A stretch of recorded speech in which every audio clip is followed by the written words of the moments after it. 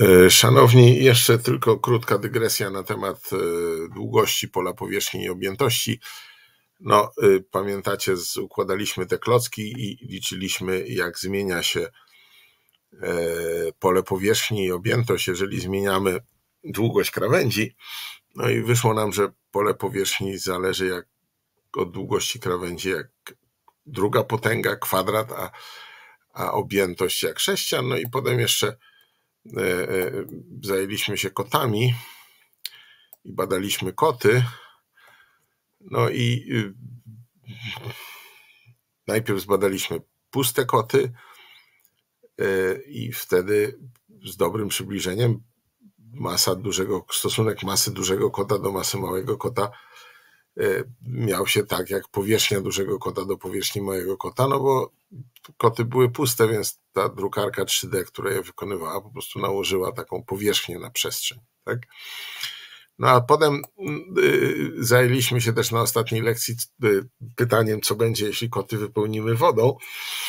No i, no i y, tak to wyglądało. Teraz masa wody w dużym kocie i masa wody w małym kocie to jest objętość dużego kota do objętości małego kota, taki sam stosunek taki stosunek.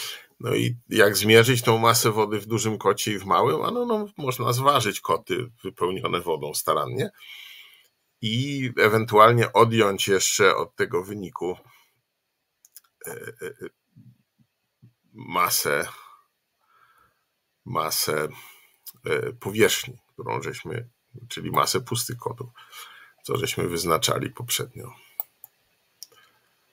No i tak wyglądały te obliczenia, jeśli chodzi o puste koty. I okazało się, że średni stosunek mas małego, dużego i małego do małego kota to jest 6,5, a y, podniesiony do kwadratu y, y, średni stosunek ich wysokości, ich rozmiarów liniowych to jest 6,71. Widać, że po pierwsze stosunek mas dużego i małego kota no, różni się od 2 0,59 i, i, i bliższy jest znacznie tej wartości przewidywanej teoretycznie. Natomiast teraz jest, y, mamy już wyniki dotyczące y, kotów napełnionych wodą. To były pomiary, które zrobiła Lila. Masy dużego kota z wodą i małego kota z wodą. Tutaj odjąłem od nich Możemy się przenieść na tę kartę. Tu odjąłem od nich, popatrzcie, hmm, jakoś tak się muszę odsunąć. E, o, w ten sposób może. E, to są pomiary, a to jest e, różnica pomiędzy wartością tego pomiaru i średnią masą pustego kota dużego i Podobnie jest tutaj, to jest różnica między y, tym, co zmierzyliśmy, jeśli chodzi o małego kota z wodą i średnią y, z pomiarów małego kota. No i ten stosunek wynosi 18,96, a 2,59 y, do trzeciej to jest, to jest właśnie 17,37 to jest mniej więcej 10% różnica, zupełnie nieźle jak na